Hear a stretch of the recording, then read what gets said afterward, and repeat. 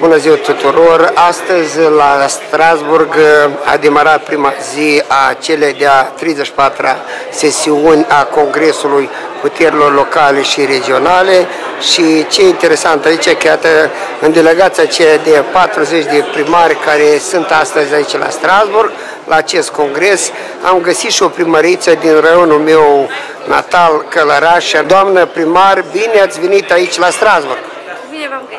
Bine v-am găsit, vreau să fac o concretizare. Reprezint raionul Călăraș, localitatea Temeleuți. Sunteți pentru prima dată aici la Strasburg? Da, desigur. Sunt pentru prima dată și este un eveniment care chiar mă remarc foarte mult.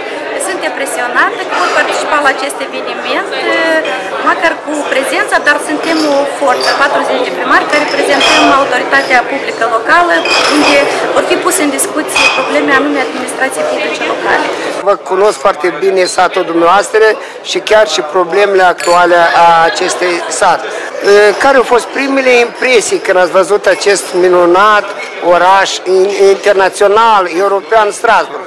Da, într-adevăr este un oraș foarte minunat, este un oraș internațional, sunt impresiile pozitive frumoase, organizare, curățenie, arhitectură, unde se combină toate așa secolele se văd, dar sincer, una, dacă să fiu sincer în adânc, lipsește puțină verdeață, ceea ce într-adevăr la noi Moldova este mult mai frumoasă, mult mai bună, anume cu aceste daruri naturii care le avem. Aceasta a fost prima mea impresie. Și iată, când veți ajunge acasă, după ce ați văzut aici la Strasburg, în acest oraș european, care va fi prima decizie în primăria dumneavoastră?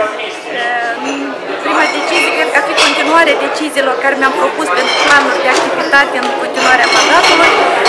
Mă refer, într-adevăr, revenim la construcția sau reparația drumurilor, pentru că localitatea mea pe care o reprezint sau care sunt în mandatul de primar, dispunem de apă potabilă, sistemă, dispunem de canalizare, de stații de epurare, dar cu de aprovizionare cu gazul avem, dar cu părere de rău ne lipsește și infrastructură drumurile, care este primul lucru care o să revin și o să încep a forțe noi și cu invoc mult mai nou pentru a continua ceea ce mi-am propus de a construi în localitate. Sunteți primar, am înțeles că din partea Partidului Democrat. Iată, în alegerile care se preconizează la toamnă, care vor fi punctele de bază în aceste alegeri?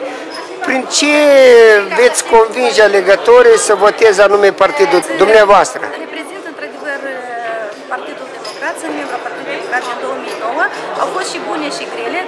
Guvernarea actuală, fiind prezentat de Partidul Democrat, are și multe probleme în față, care cu brio ne străduim să le depășim.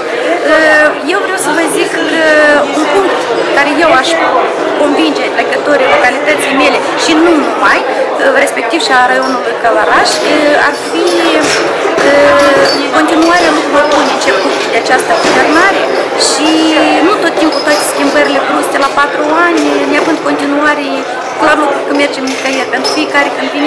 face legile lui și schimbările. Și de ce nu? Prima, proiectul Prima Casă, care tineretul este posibil să rămână în țară și creează condiții. De ce nu acel proiect cu 1200 km de drumuri locale reparate, care și noi necesităm și este stringent pentru... Sunt lucruri foarte bune cu care eu aș merge. Susținerea, nu susțin, dar chiar pentru convingerea ca să fie votată mai Partidul Democrat în alegerile parlamentare din, din noiembrie 2018. Doamna primar, vă rog să vă prezentați. Da, sunt Zinaida Țurcanu, primarul de satul Șemeliuț, raionul Călăraș, la primul mandat.